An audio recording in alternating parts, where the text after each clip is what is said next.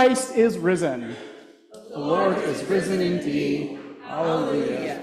Almighty God, to you all hearts are open, all desires known, and from you no secrets are hid. Cleanse the thoughts of our hearts by the inspiration of your Holy Spirit, that we may perfectly love you and worthily magnify your holy name. Through Christ our Lord. Amen. Surely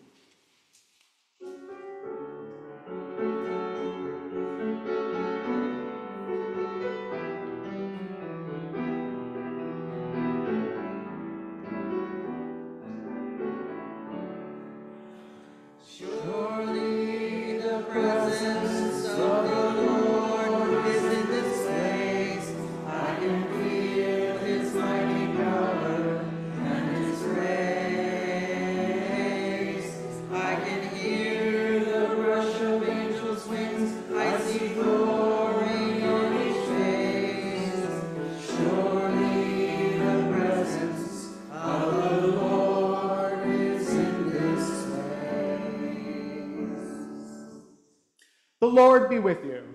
And also with you. Let us pray.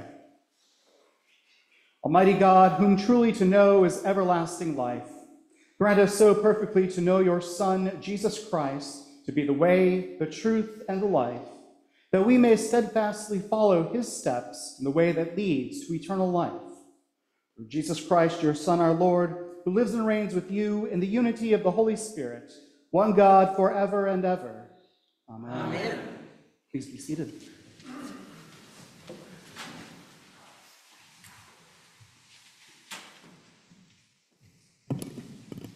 A reading from the book of Acts. An angel of the Lord said to Philip, Get up and go towards the south to the road that goes down from Jerusalem to Gaza.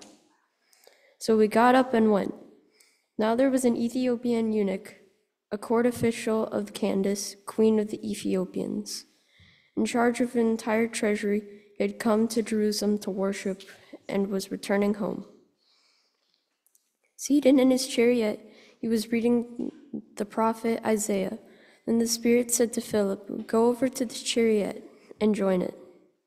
So Philip ran up to it and heard him reading the prophet Isaiah. He was asked, Do you understand what you are reading? He replied, How can I unless someone guides me? And he, would- and he invited Philip to get up and sit beside him. Now, the passage of the scripture that he was reading was this Like a sheep, he was led into slaughter, and like a lamb, silent before its sheared, so he does not open his mouth. In this humiliation, justice was denied him. Who can describe his generation? For his life is taken away from earth. The eunuch asked Philip, About whom, may I ask you, does the prophet say this about himself or about someone else? Then Philip began to speak and started with the scripture. He proclaimed to him the good news about Jesus. As they were going along the road, they came to some water. And the eunuch said, Look here is water. What is to prevent me from being baptized? He commanded. The chariot to stop, and both of them. Philip and the eunuch went down into the water, and Philip baptized him. And they came up out of the water. The Spirit of the Lord snatched Philip away. The eunuch saw him no more, and went on his way rejoicing. But Philip found himself at Azotus, and he was passing through the religion. He proclaimed the good news to all the towns until he came to Caesarea. The word of the Lord.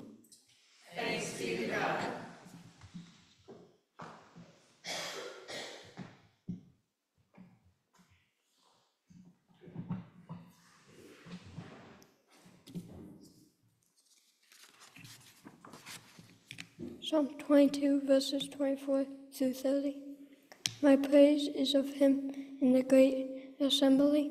I will perform my vows in the presence of those who worship him. The poor shall eat and be satisfied, and those who seek the Lord shall praise him. May your heart live forever. All the ends of the earth shall remember and turn to the Lord. All the families of the nations shall bow before him.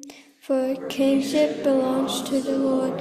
He rules over the nations. To him alone, all who sleep in the earth bow down and worship. All who go down to the dust fall before him. My soul shall salute him. My descendants shall serve him. They shall be known lords forever. They shall come make known your unborn. The saving Jesus hears them.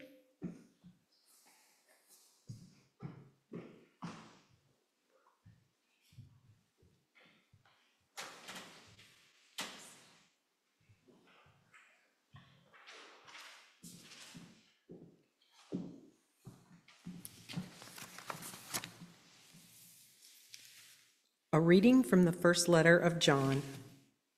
Beloved, let us love one another because love is from God. Everyone who loves is born of God and knows God. Whoever does not love does not know God, for God is love. God's love was revealed among us in this way God sent his only Son into the world so that we may live through him. In this is love. Not that we loved God, but that He loved us and sent His Son to be the atoning sacrifice for our sins. Beloved, since God loved us so much, we also ought to love one another. No one has ever seen God. If we love one another, God lives in us, and His love is perfected in us. By this we know that we abide in Him, and He in us, because He has given us of his Spirit. And we have seen and do testify that the Father has sent his Son as the Savior of the world. God abides in those who confess that Jesus is the Son of God, and they abide in God. So we have known and believed the love that God has for us. God is love, and those who abide in love abide in God, and God abides in them. Love has been perfected among us in this, that we may have boldness on the day of judgment, because as he is, so are we in this world. There is no fear in love, but perfect love casts out fear. For fear has to do with punishment, and whoever fears has not reached perfection in love. We love because he first loved us. Those who say, I love God, and hate their brothers and sisters are liars. For those who do not love a brother or sister whom they have seen cannot love God whom they have not seen. The commandment we have from him is this those who love God must love their brothers and sisters also. The word of the Lord. The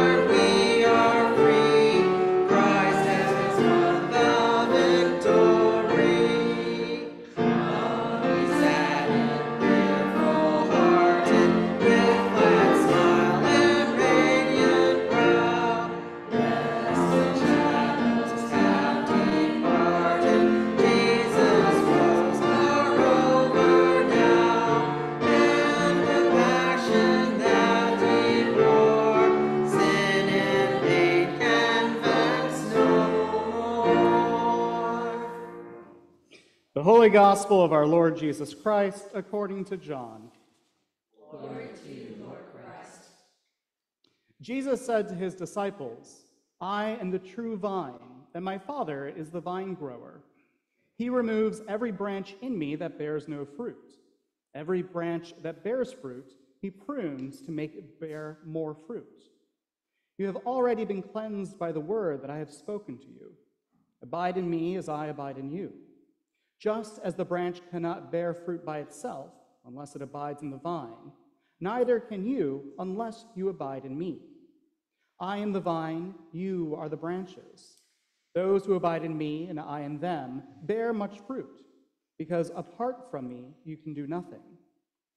Whoever does not abide in me is thrown away like a branch and withers. Such branches are gathered, thrown into the fire, and burned.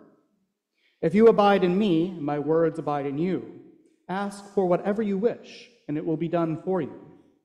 My Father is glorified by this, that you bear much fruit and become my disciples. The Gospel of the Lord. Praise to you, Lord Christ.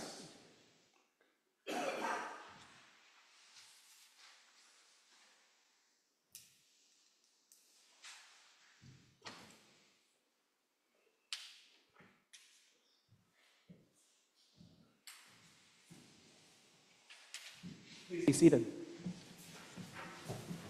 And at this time, I would like to invite all of the youth in the church to come forward. Come on up. I know you might be a little shy right now. Come on, come on. If you want to take a seat in one of these benches up here, you too, Bailey. Sawyer, do you want to come up here too? you guys are doing great job. So I have a question for you guys. Do any of you know what this is? It's okay if you don't. Do any of you want to guess what it might be? Looks like a stick, right? Looks like a tree. Any other thoughts? Are you guys feeling shy because you're in front of everybody? No? Okay. So this is a vine. You probably don't see them very often, but that's how we get these, right? Do any of you guys want a grape, by the way? Go for it. Help yourselves. Want a grape too? Grape? Oh. If anybody else wants them, you're welcome to.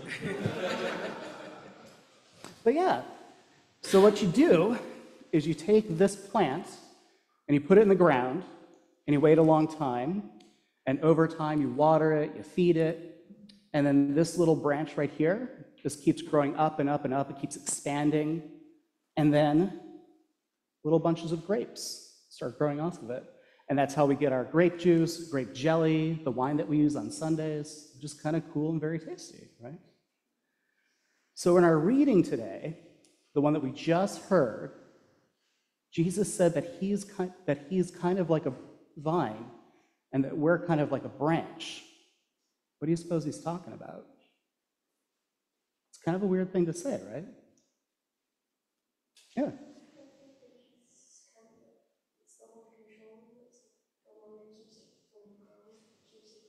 Yeah, absolutely. Jesus is the one that keeps us growing, you know. We don't make grapes, but we produce other things throughout the course of our lives, right? Jesus tells us to be fruitful. And he's not talking about actual fruit like bananas or mangoes or something, but he's telling us that he teaches us how to grow and how to become better people throughout the course of our lives.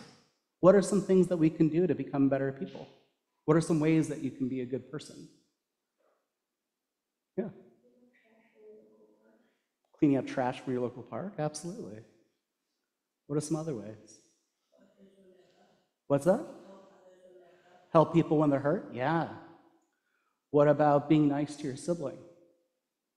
No? Maybe sometimes, yeah. What are some other things that you can do to be a nice person? Or what are some ways that you can learn how to be a nice person?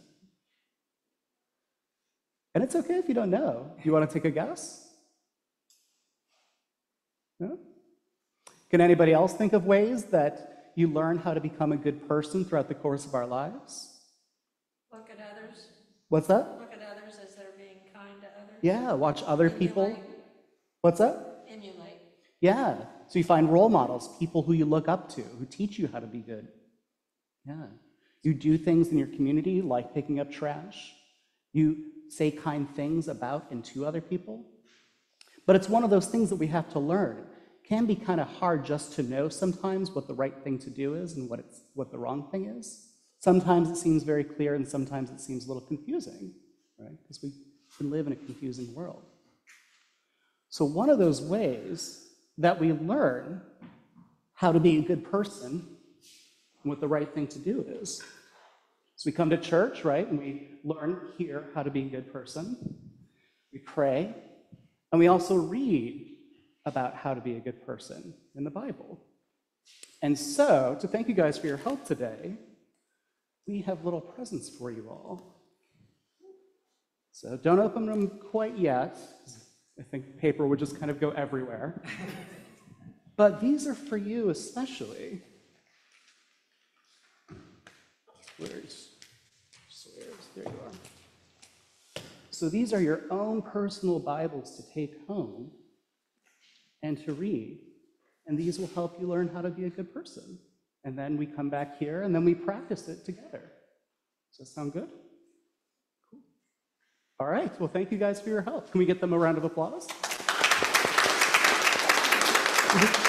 And you can go back to your seat for now.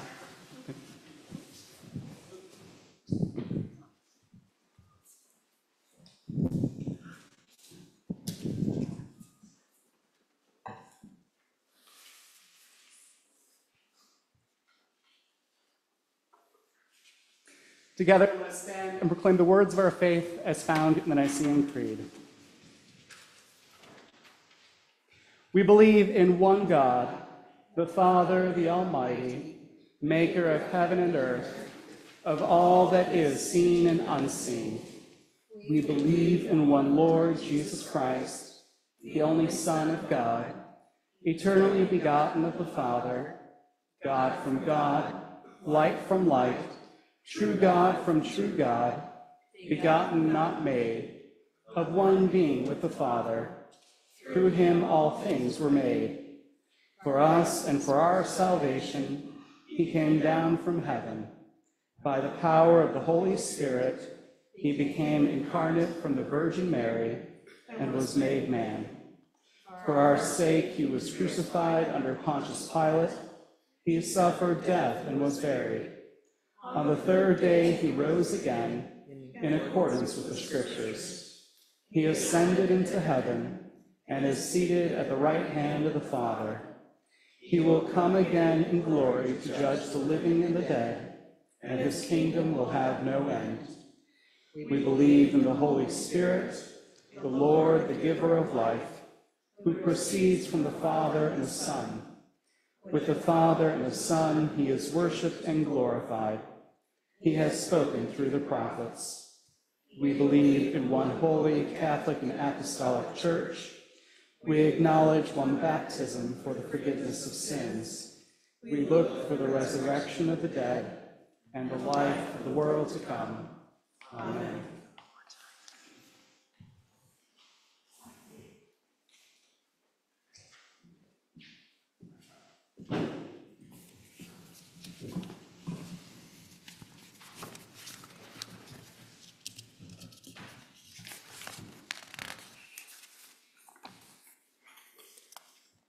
We are like the trees that grow beside the stream. The sunshine and the water feed us and strengthen us. O God, fill our hearts with love. Like the fruit on the tree, the fruit of the Spirit must grow within us. O God, fill our hearts with love. For our church, our nation, and the welfare of the world.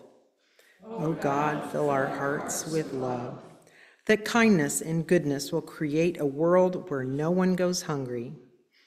O God, fill our hearts with love, that we may practice our faith so that it may grow. O God, fill our hearts with love, that we may give love completely, totally, and without condition. O God, fill our hearts with love that we will search for peace in our own minds and in the world. O God, fill our hearts with love. O Lord, your word is a lamp for our feet, in darkness and in light, and in trouble and in joy. Help us, Heavenly Creator, to trust your love, to serve your purpose, and to praise your name. Through Jesus Christ our Lord. Amen. Amen. May the peace of the Lord be always with you. And also with you.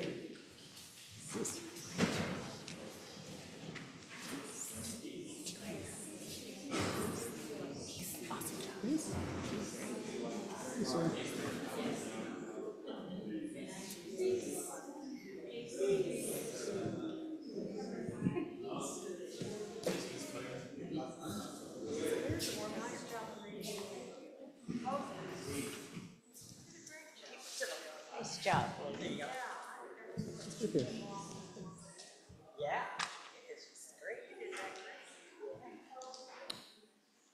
Morning.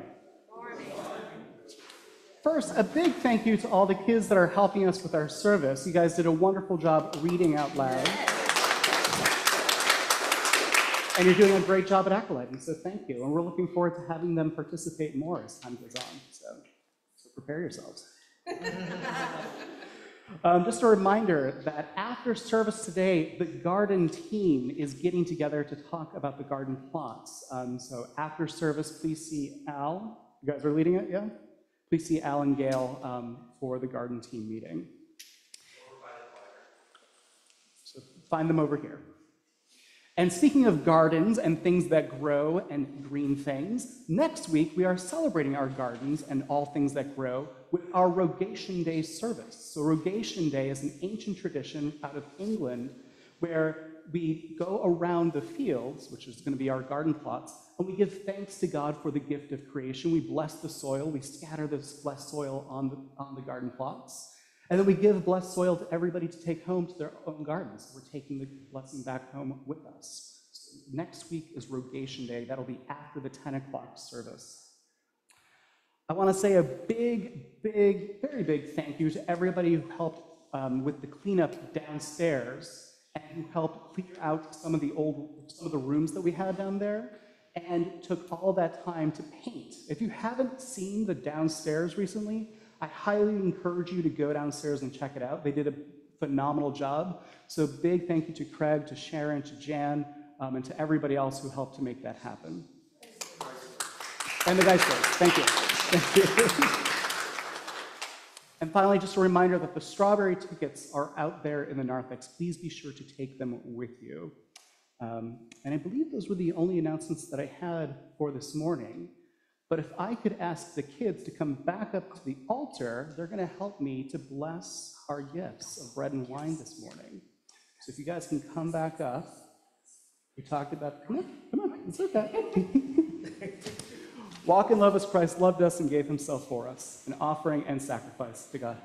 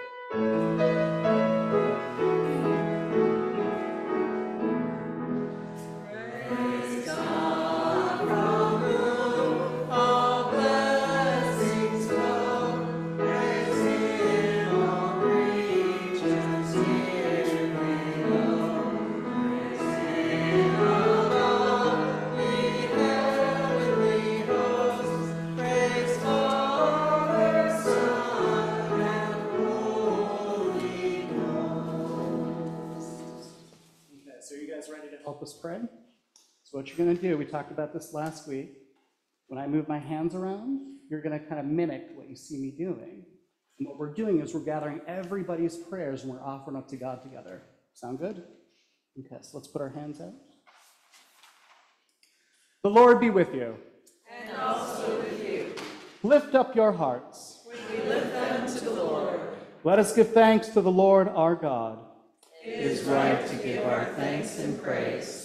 It is truly right and good and joyful to give you thanks, all holy God, source of life and fountain of mercy.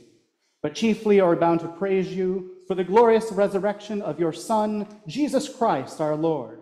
For he is the true paschal lamb who was sacrificed for us and has taken away the sin of the world. By his death, he has destroyed death. And by his rising to life again, he has won for us everlasting life. Therefore, joining with angels and archangels, with the faithful of every generation, we lift our voices with all creation as we sing. Holy,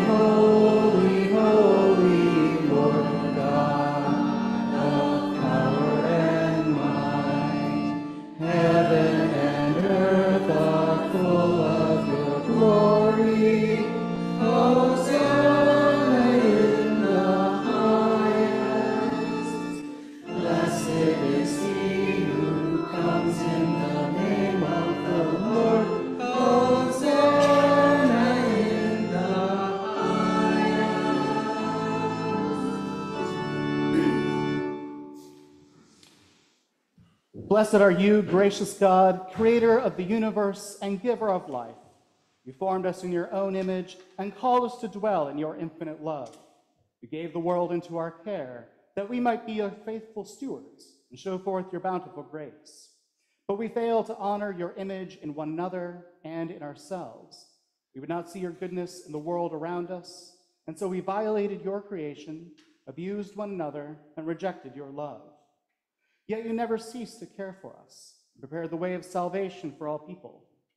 Through Abraham and Sarah, you call us into covenant with you, You delivered us from slavery, sustained us in the wilderness, and raised up prophets to renew your promise of salvation. Then, in the fullness of time, you sent your eternal word, made mortal flesh, in Jesus, born into the human family and dwelling among us, who revealed your glory. Giving himself freely to death on the cross, he triumphed over evil, opening the way of freedom and life. The night before he died for us, our Savior, Jesus Christ, took bread. And when he had given thanks to you, he broke it and gave it to his friends and said, Take, eat. This is my body, which is given for you. Do this for the remembrance of me. As supper was ending, Jesus took the cup of wine. And when he had given thanks, he gave it to them and said, Drink this, all of you. This is my blood of the new covenant, which is poured out for you and for all for the forgiveness of sins. Whenever you drink it, do this for the remembrance of me. Therefore, we proclaim the mystery of faith. Christ has died, Christ is risen, Christ will come again. Remembering his death and resurrection, we now present to you from your creation this bread and this wine. By your Holy Spirit, may they be for us the body and blood of our Savior, Jesus Christ. Grant that we who share these gifts may be filled with the Holy Spirit and live as Christ's body in the world. Bring us into the everlasting heritage of your daughters and sons, that with all your saints, past, present, and yet to come, we may praise your name forever. Through Christ and with Christ and in Christ, in the unity of the Holy Spirit, to you be honor, glory, and praise forever and ever. Amen.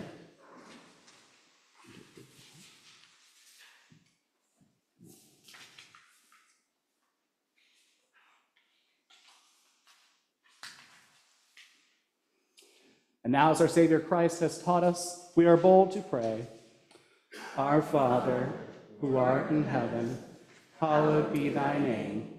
Thy kingdom come, thy will be done, on earth as it is in heaven. Give us this day our daily bread, and forgive us our trespasses, as we forgive those who trespass against us. And lead us not into temptation, but deliver us from evil.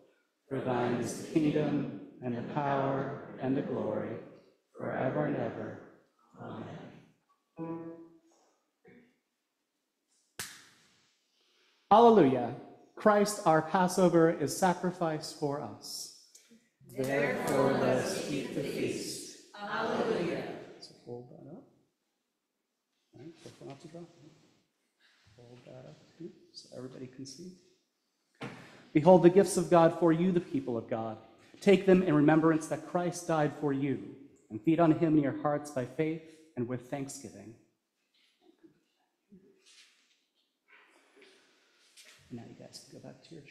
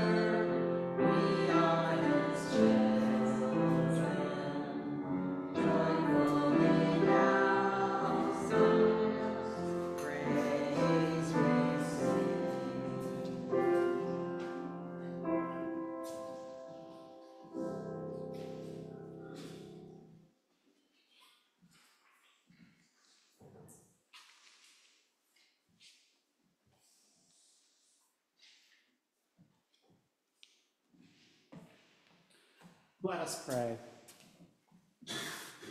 Loving God, we give you thanks for restoring us in your image and nourishing us with spiritual food in the sacrament of Christ's body and blood. Now send us forth a people forgiven, healed, renewed, that we may proclaim your love to the world and continue in the risen life Christ our Savior. Amen. May the blessing of the God of Abraham and Sarah and of Jesus Christ, born of our sister Mary and of the Holy Spirit, who broods over the world as a mother over her children, be upon you and remain with you always. Amen. I